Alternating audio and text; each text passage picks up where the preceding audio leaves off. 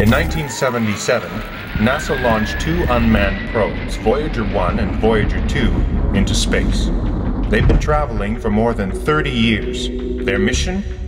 To go where no astronaut has gone before. And record it all. The Voyager spacecraft sent pictures and information back to Earth for many years, helping scientists understand more about our solar system and its planets. But there is another purpose for Voyager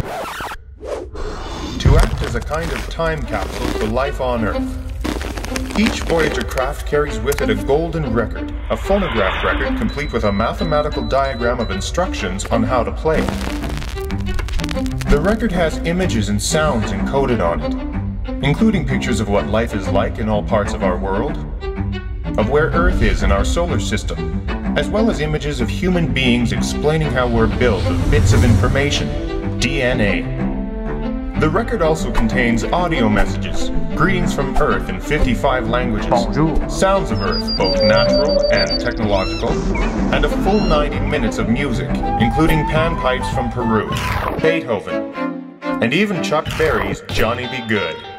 The Voyager spacecraft are now nearly 10 billion miles away from the Sun, making them the furthest man-made objects from Earth. It'll be 40,000 years before Voyager reaches another solar system. Good thing the Golden Record will last a long time too. It'll be intact for about 1 billion years. That gives our messages a lot of time to be found.